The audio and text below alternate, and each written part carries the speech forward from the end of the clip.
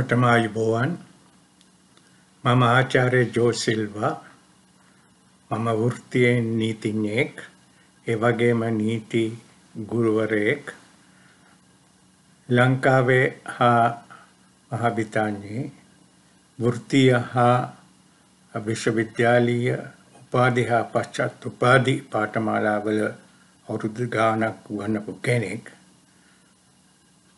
මට නාගනන්ද මහතා හමුවේ නීති විද්‍යාලයේ මා විදුහල්පති වශයෙන් කටයුතු කරන අවස්ථාවේදී ඊට පසුව මෑතකදී මට ඒ මහතා හමුුණා ලන්ඩන් නුවරදී ඔහු මගින් ඇහුවා මේ ඔටක්තනස් කොන්ස්ටිටියුෂන් නැත්තං අලුත් සිංහල වචනයක් තියෙනවා මම හිතන්නේ ඒකට ස්වංජාත කියලා.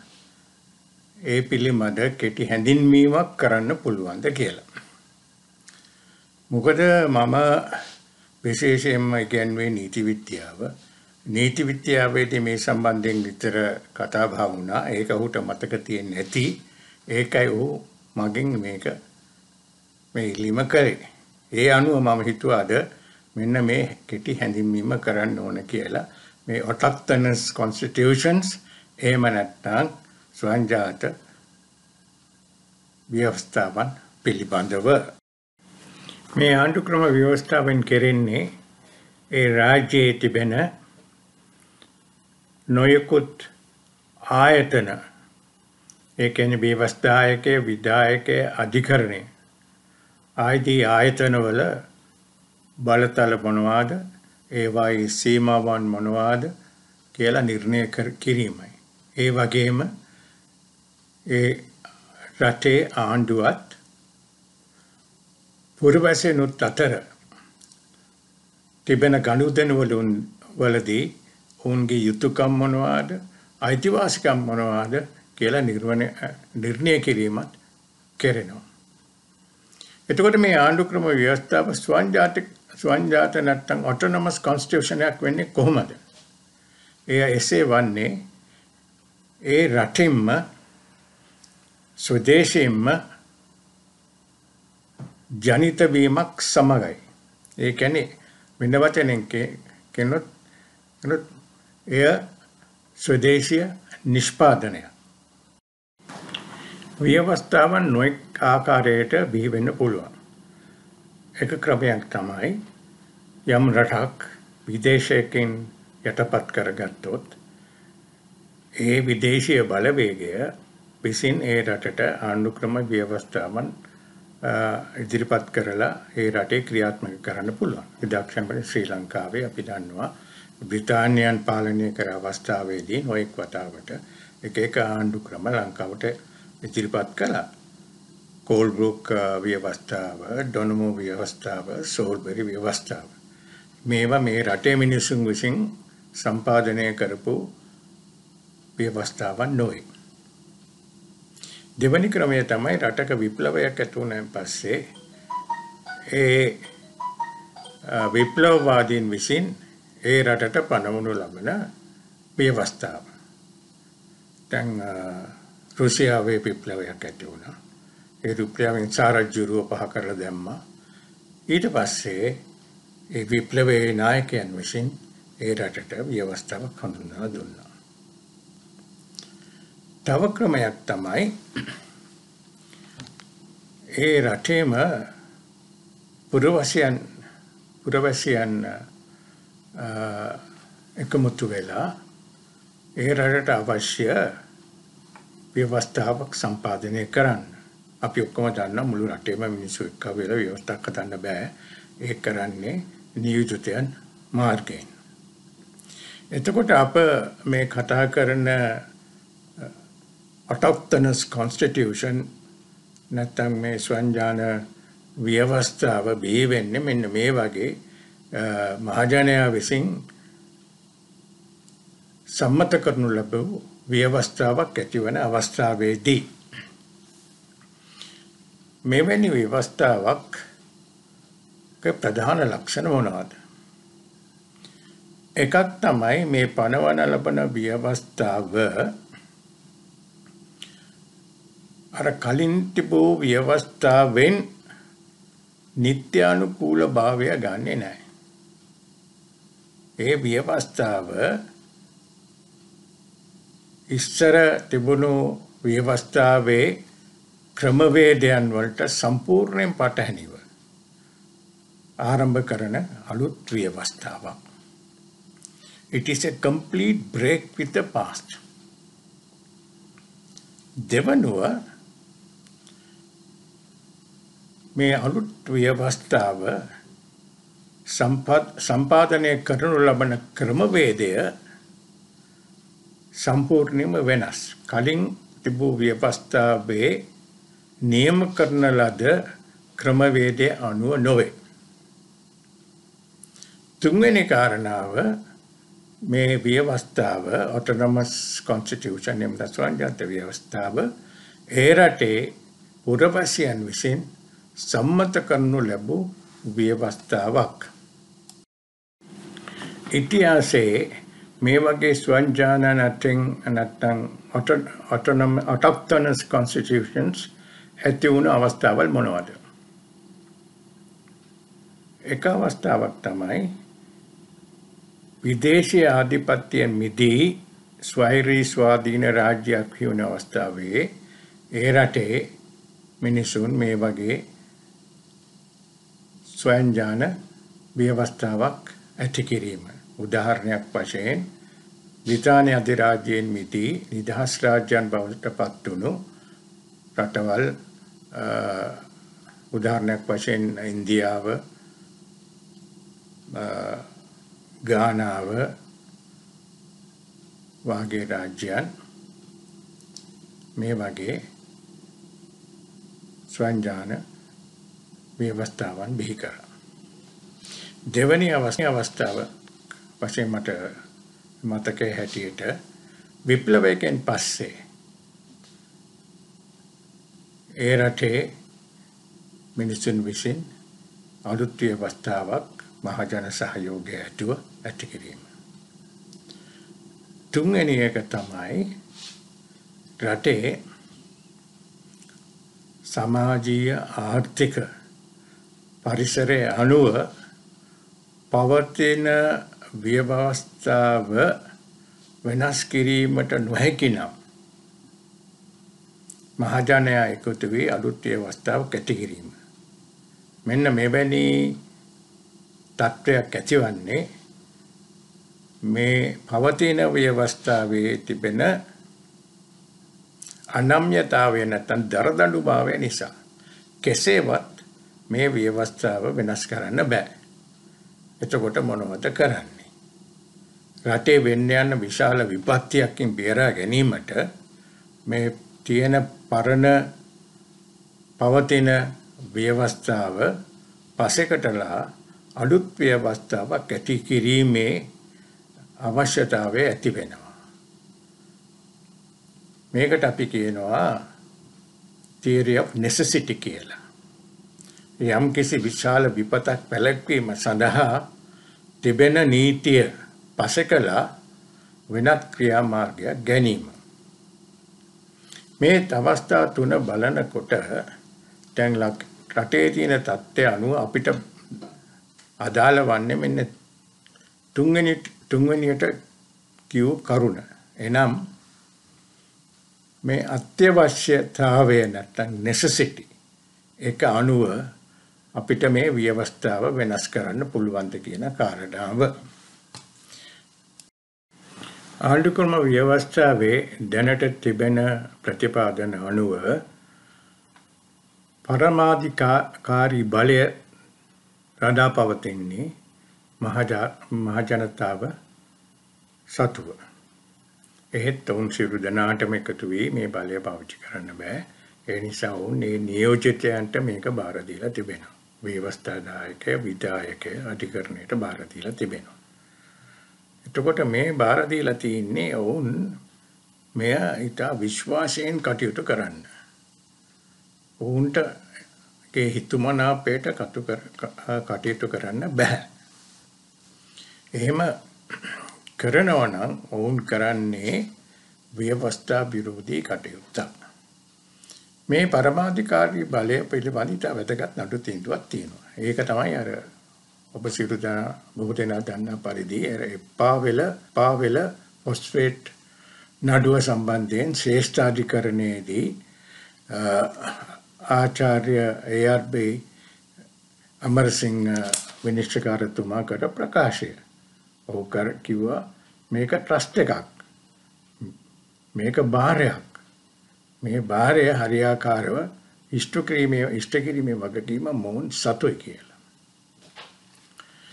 දැන් මේ අවශ්‍යතාවය පැන නැගිලා තියෙන්නේ මේ රටේ විශාල ජනමතයක් පැන නැගිලා තිබෙනවා මේ භාරය පබ්ලික් ට්‍රස්ට් එක හරියාකාරව ක්‍රියාත්මක කරන්නේ නැහැ කියලා. එහෙමනම් අපි මොනවද කරන්න ඕන? මේ ව්‍යවස්ථාවේ තියෙන එක්තරා අඩුපාඩුකම් වෙනස් කරලා ව්‍යවස්ථාවක් හදන්න ඕන. දැන් තියෙන ක්‍රමවේදයේ අනුව මෙය කරන්න අපහසුයි. මොකද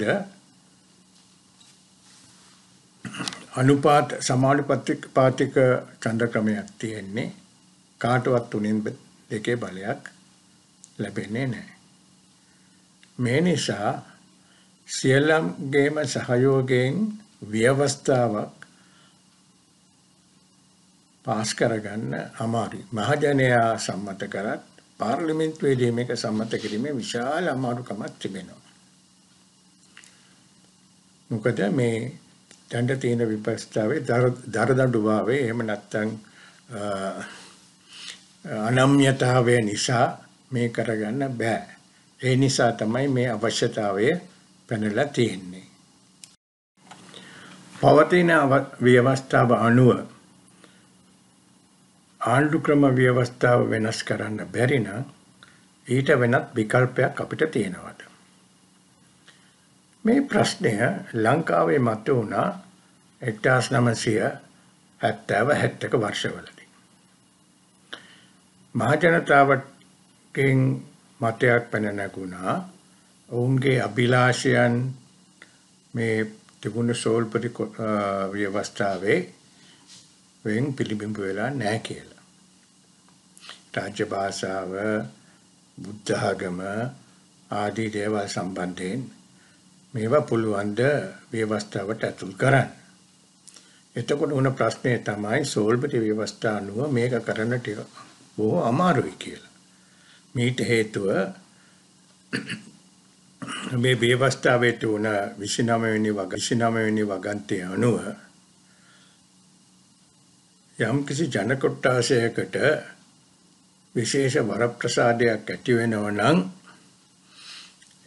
එවැනි නීතියක් පනවන්න බෑ කියලා තිබුණා. ප්‍රිවි කවුන්සිලේදීත් පියස් ස්වාමීවරයා ප්‍රකාශ කර හිටියා මෙය ලංකාවට නිදහස් දෙන නිදහස දෙන අවස්ථාවේදී ලංකාවේ මහ ජනතාවත් බ්‍රිතාන්‍ය ආණ්ඩුවත් අතර දුන්නු පොරොන්දුවක් මේ පොරොන්දු අනුව මේ කිසිසේත්ම තුනෙන් දෙකේ බලයෙන්වත් මේක වෙනස් කරන්න බෑ කියලා. එහෙමනම් දැන් මේ කොහොමද කරන්නේ? මේ සම්බන්ධයෙන් නීති විශාරදයන් අතර විශාල සාකච්ඡාවක් ඇති වුණා. ඇති වෙලා ඔවුන් ප්‍රකාශ කරා තවත් විකල්පයක් තියෙනවා. ඒ විකල්පය තමයි අපි කලින් සඳහන් කරා වගේ මේ autochthonous constitution එකක්. මිනිසුන් විසින්ම සම්පාදනය කරනු ලබන ව්‍යවස්ථාවක් හදාගන්න පුළුවන්. ඒ ව්‍යවස්ථාවට බලය ලැබෙන්නේ මහජනතාවගේ මිසක් වෙනත් ව්‍යවස්ථාවකින් හෝ පිටස්තර බලවේගයකින් නොවේ. මේ අනුව ලංකා සම සමාජ ශ්‍රී ලංකා නිදහස් පක්ෂය ලංකා සම සමාජ පක්ෂය කොමියුනිස්ට් පක්ෂයෙන් සමාන්විත සන්ධානය ඔවුන්ගේ ඡන්ද ප්‍රකාශනයේ කිව්වා අපි බලයටපත් වුණොත් අපි විශේෂ ව්‍යවස්ථාදායක සභාවක් පත් කරලා ඒ මාර්ගයෙන් මේ ජනතා අභිලාෂයන් ඇතුළත් ජනරජයක් ජනරද ව්‍යවස්ථාවක් මනනවා කියලා.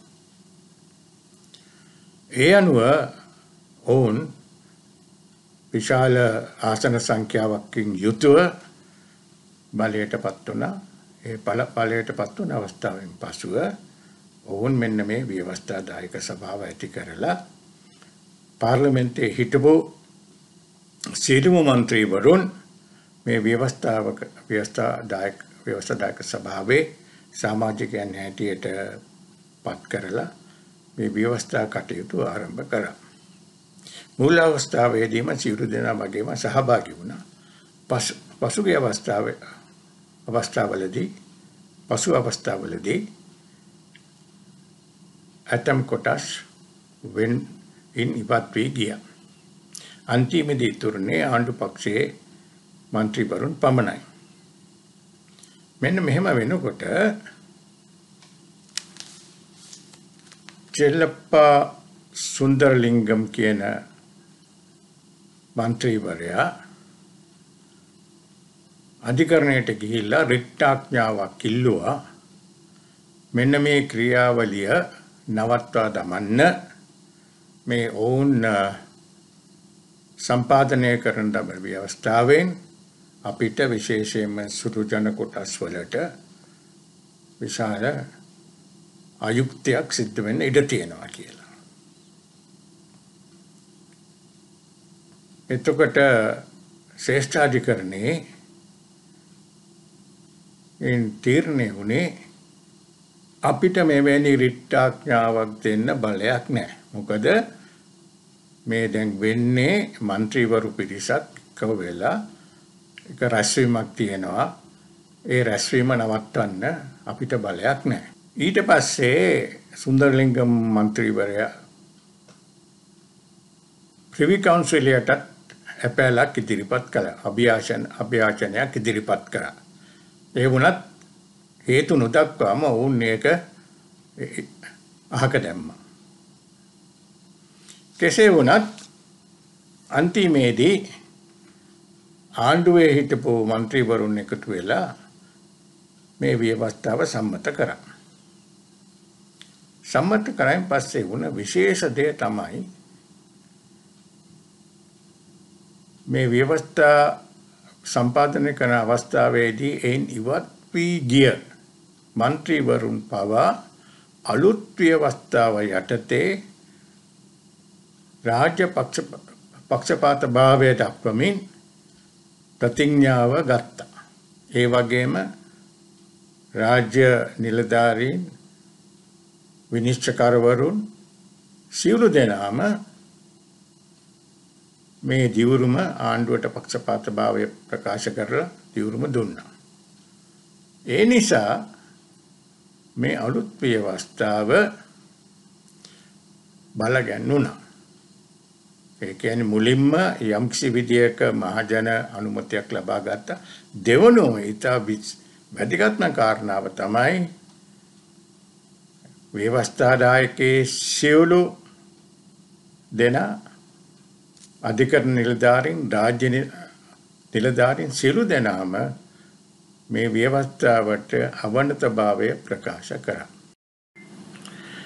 ලෝක ඉතිහාසයේ මේ වගේ ව්‍යවස්ථා සම්පාදනය කරුණේ ලංකාවේ නොවේ මීට කලින් නොයෙක් රටවල මේ විදියට ව්‍යවස්ථාවන් සම්පාදනය සම්පාදනය කරනු ලැබුවා.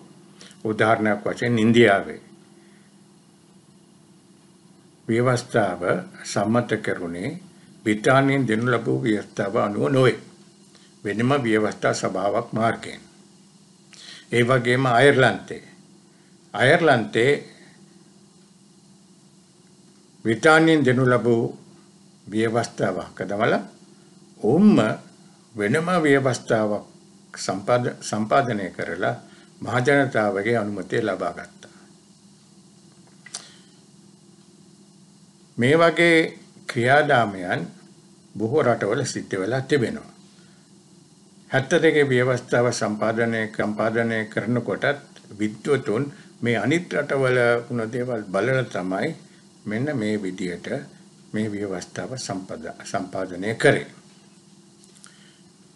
මෙවැනි ව්‍යවස්ථාවන් සම්පාදනය කිරීම සම්බන්ධයෙන් නෛතික න්‍යායයන් කීපයක් තියෙනවා. මේ එක න්‍යායක් තමයි මේ ඔස්ට්‍රේලියානු ජාතික හැන්ස් කෙල්සන් නැමැති නීතිවේදියාගේ න්‍යාය. ඔහු පෙන්වලා දුන්නා රටේ තියෙන හැම නීතියක්ම රටේ තිබෙන ව්‍යවස්ථාවට යටත් වෙන්න ඕන. ඒ නීතිවල නිත්‍යානුකූලභාවය ඇති වෙන්නේ ව්‍යවස්ථාවෙන් දෙනු ලබන බලතල අනුවයි. දැන් උදාහරණයක් වශයෙන් ලංකාවේ අපි ගනිමු මහා මාර්ග නීති සම්බන්ධයෙන් ඒක ඒ මහා මාර්ග නීති පැනවීමේදී කොහින්ද මේ බලය ලැබුණේ? ඒ බලය ලැබුණේ ව්‍යවස්ථාවකින්. ඒ ව්‍යවස්ථාවට කොහින්ද බලය ලැබුණේ? ඒ ව්‍යවස්ථාවට බලය ලැබුණේ ආණ්ඩු ක්‍රම ව්‍යවස්ථාවෙන්. ආණ්ඩු ක්‍රම ව්‍යවස්ථාවට කොයින්ද බලය ලැබුණේ? 78 ව්‍යවස්ථාවට බලය ලැබුණේ 72 ව්‍යවස්ථාවෙන්. 72 ව්‍යවස්ථාවට කොයින්ද බලය ලැබුණේ? කොය කාගෙවත් බලය ලැබුණේ ඒ බලය ලැබුණේ මහ ජනතාවගෙන් ඒකට තමයි ඔහු කිව්වේ මේ ගෘන්නෝම් කියලා මුල් පාදක නීතිය. ඒ නීතිය ඇත්ත වශයෙන්ම දේශපාලන නිපයුමක්. දේශපාලන යථාර්ථයක්. It's a product of political authority. එය තව නීතියකින් හදපු දෙයක් නොවේ. ඒ වගේම එච්.එල්.ඒ. හාට් කියන නීතිවේදියත් මේ හා සමානම කිව්වා. මේ නීති බලාත්මක වෙන්නටන් කාරණා දෙකක් අවශ්‍යයි. එකක් මහජනතාව සම්මත කරන්න ඕන දෙවනි එක රජයේ නිලධාරීන් අධිකරණය සියලු දෙනාම සියලු දෙනාම පිළිගන්න ඕන. එතකොට තමයි මේක බලාත්මක වෙන්නේ. මේ බලාත්මක වෙන්නේ පිටස්තර නීතියකින් නෙවෙයි. It is a political fact. It's a political reality. it is this const- the, the, the last or the first constitution is not something produced by some other law. It is produced by the people themselves. ඒකයි මේක අපි කියන්නේ autochthonous constitution කියලා මහජනතාවකින් විසින් පනවනු ලබන නිෂ්පාදනය කරනු ලබන ව්‍යවස්ථාවක් කියලා. ඔබ සමට ස්තුතියි.